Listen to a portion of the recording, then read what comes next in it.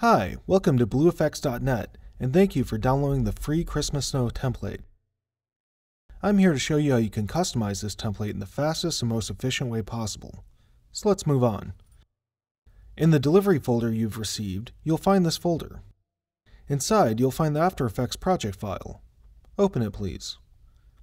In the Project Manager, you'll find the 00 main composition, which we are seeing in the timeline. All the compositions used to build this project are contained in the Other Comps folder, and they are not customizable.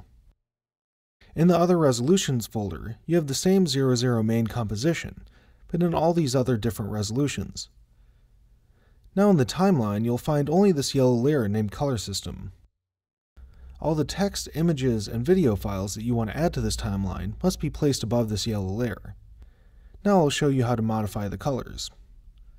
To do that, select the Color System layer, and in the Effects Control panel, open each of these effects. Using Background Color 1 and Background Color 2, you can modify the colors of this ramp behind the snowflakes. Let me show you.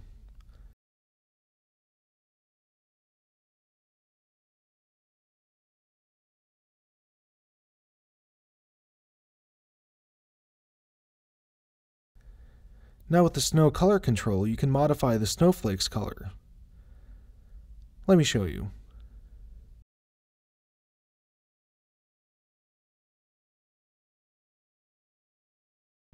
And in the case you want to add small text over the snow animation, you can modify the snow opacity with this control. Now you know how to customize this template on your own. If you have any questions about this template, don't hesitate to contact our support team at bluefx.net.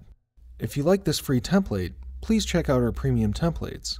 By purchasing projects, you support and help us create more free stuff. Thanks for watching.